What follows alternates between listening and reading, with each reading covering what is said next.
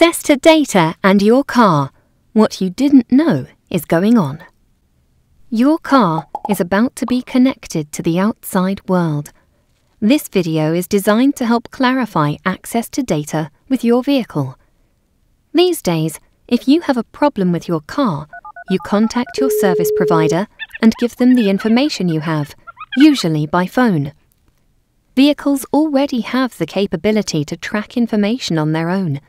Very soon, they will be able to transmit it over secured networks, for instance, in the event of a breakdown, to ensure a faster, better equipped, and more effective response. Imagine accessing real time traffic information, being alerted to potential vehicle problems in advance, and getting rapid response when something goes wrong. The transmitted data will also help service providers identify the cause of the breakdown. What you may not know, however, is the scope of data that is being tracked and how it is ultimately used. Vehicle manufacturers are developing car technologies to track and transmit a range of information. They control this information flow and can direct maintenance and repairs to selected service providers. When you buy a car, it often includes a clause which approves the transfer of your data to the vehicle manufacturer's proprietary network. As a result, you are not necessarily aware when data is transmitted by your car or how your data is used.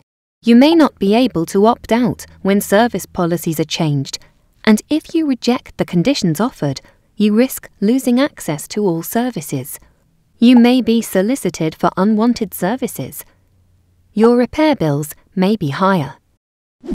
Since only vehicle manufacturers have direct access to vehicle data, other service providers must either pay the vehicle manufacturer to access it or develop and market their own independent systems, leading to higher development costs, or they could be entirely excluded from the market.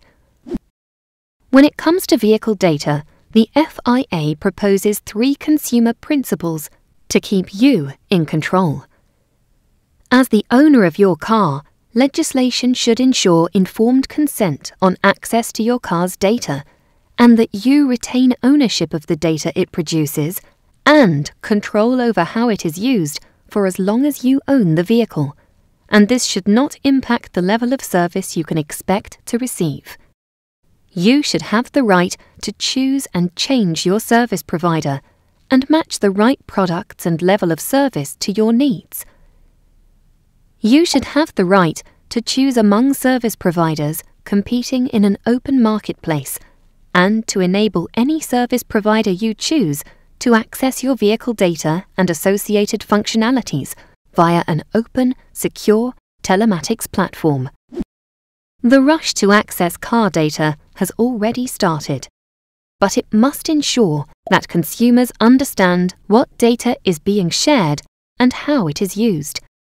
There is a choice of validated services from trusted service providers, and there are open, standardized, and secure data platforms accessible to multiple service providers. Motorists have the right to fully benefit from their data to improve the driving experience.